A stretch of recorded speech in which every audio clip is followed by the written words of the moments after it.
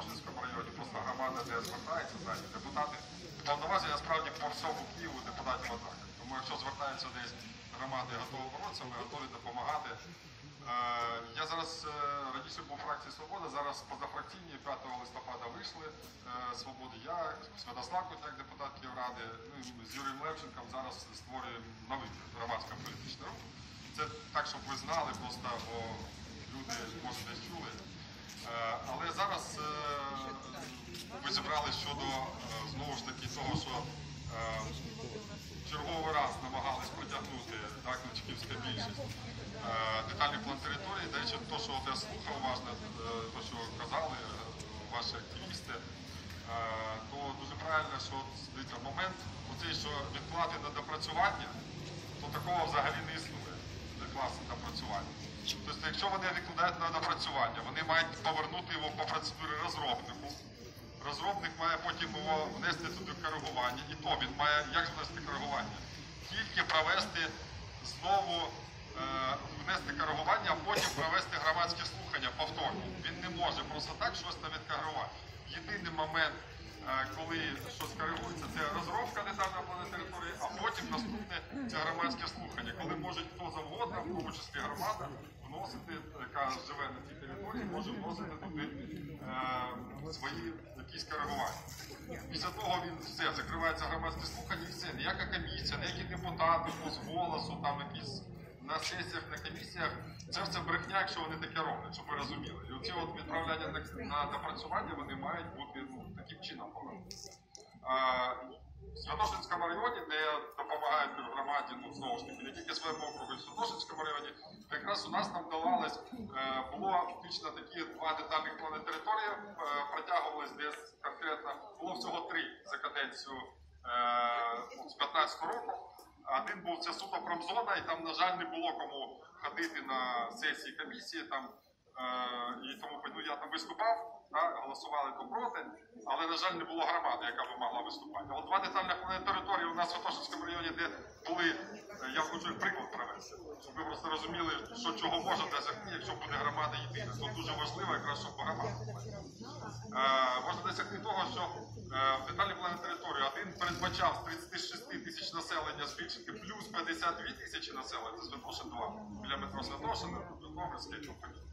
А друге це Борчагівка, там е, взагалі там промзони забудовуються, але там 10 разів більше хотіли зробити, зараз живе одна кількість населення, а хотіли в 10 разів збільшити за рахунок промзон. Ну тобто люди, очевидно, що це було просто без всяких зелених зон, без садочків, шкіл і тому подібне. Плюс інфраструктура всього району. Тобто це не тільки стає проблемою тих, біля кого будує, а й у вас також тобто, ці висотки, вони ж не проблема тільки тих будинків, які навколо, не проблеми всієї оболоні.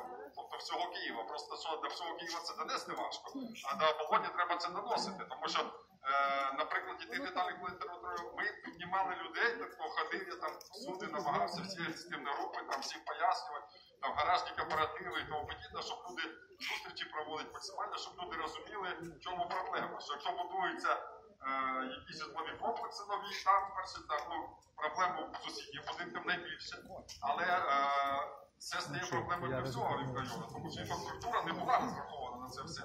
І забудовники, звичайно, то, що вони будують приватне комерційне житло, але е, вся інфраструктура вона і по закону і взагалі має будуватися за бюджетні кошти. А у нас ну, що у нас за бюджетні кошти? У нас максимум там полотати або перестілити асфальт, що може бути. На жаль, така ситуація. Ніхто не думає за те, що щоб змінити. І взагалі не так має місто розвиватися, як просто житлове будівництво.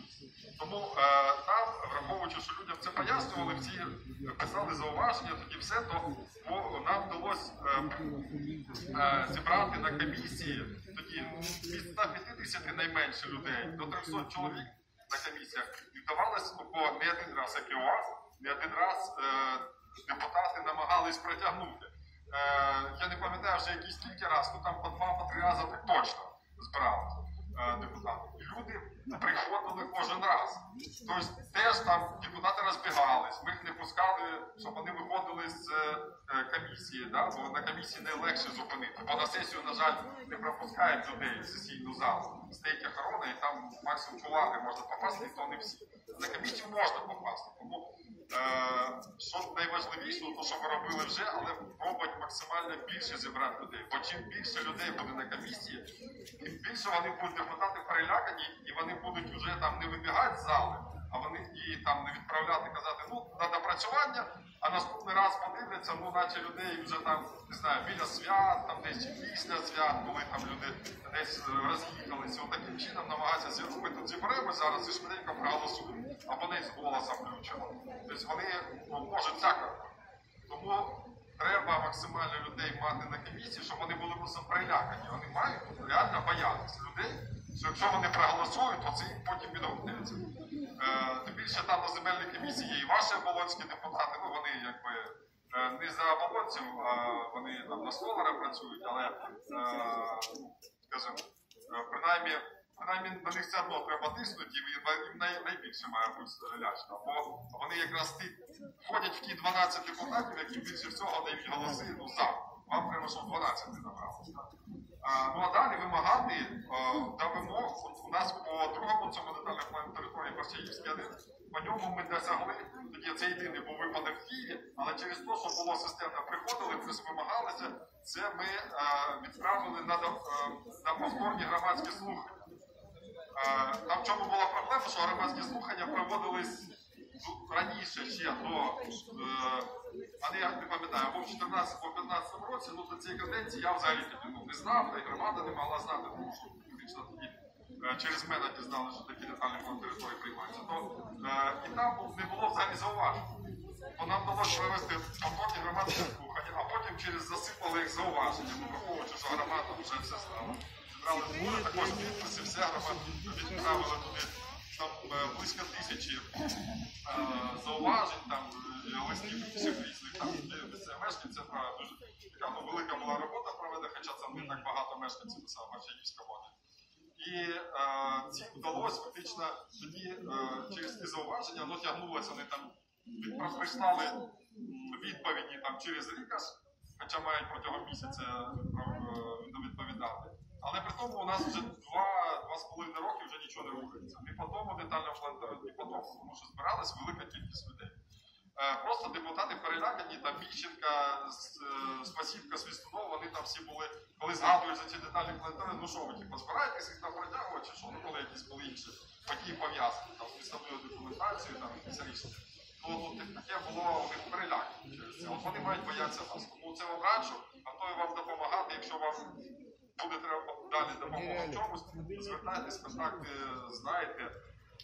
Е, В принципі, єдине, що ще хотів сказати, що це згадували правильно за генеральний план. Ну так, дійсно, всі детальні плани території, які вдалося протягнути минуле, ну, за ці минулі роки, вони зараз їх намагаються включити в детальний в генеральний план міста Києва, цей новий, який вони розказують, що там з міжнародними експертами, ще щось таке. Ну це все лапсанавши, щоб люди просто так, ну, як, якщо це там на рівні, там, не там не всесвітньому рівні, Кличко щось робить, значить це, мабуть, правильно. Ну, насправді це неправильно, це знову ж таки під забудовників. Я вам намагаю, е, нагадаю, що попередній раз детальний план території хотів протягувати тоді ще Попов, з Грегорем, тому що тоді за часи попередників там вони оце все. Вони тоді набудували, пороздавали землі там і тому подібне. І вони хотіли тоді ці незаконні забудови тоді легалізувати через нього. Потім якби не сталося, тому що у них проривалася революція і все це. І вони е, на потім Кличко, наче коли став мером, він начебто сказав, що от бачите, я тут зараз хочу приймати, ну ж якби має по строкам мають прийматися. Він зробив вигляд, що він хоче наче приймати, але тоді він ну громада не, сприймається, значить не буде. Але він і не хотів цього робити насправді, не намагався на повну силу, тому що якщо ви, якщо, якщо ви зараз, якщо ви деталі, якщо ви тоді він протягнув цього генеральний план, то ці е, забудови він вже не міг би.